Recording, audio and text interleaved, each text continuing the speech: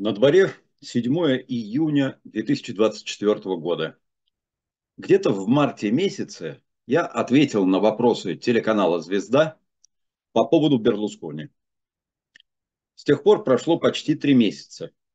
И вдруг я обнаружил, что мое интервью, подчеркну, на безвозмездной, бесплатной основе, опубликовано не на «Звезде», которая принадлежит Министерству обороны Российской Федерации. А на YouTube-канале иноагента Пивоварова. Без комментариев. Я в эти игры не играю, но отвечаю исключительно за свои слова. Что такое Танжентополи? Танженты, ну, уже по звуку понятно, что это вот в математическом смысле этого слова это тангенс, да? А, но в итальянском языке танженты – это еще и взятка.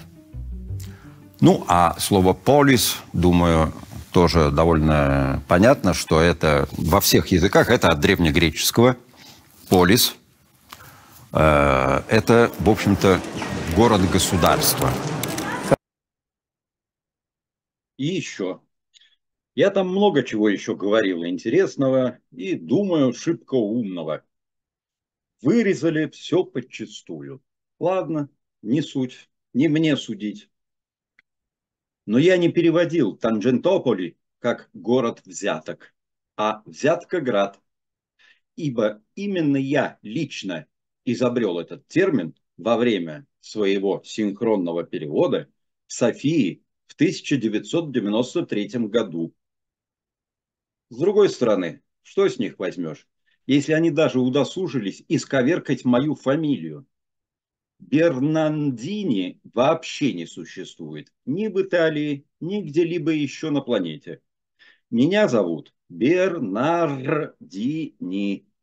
Вспомните просто ирландского писателя Джорджа Бернарда, Бернарда Шоу, собаку Сен-Бернара, монахов-бернардинцев, футбольного тренера Фульвио Бернардини. Нет, я понимаю, для этого надо быть либо кинологами, либо футбольными фанатами, либо просто образованными.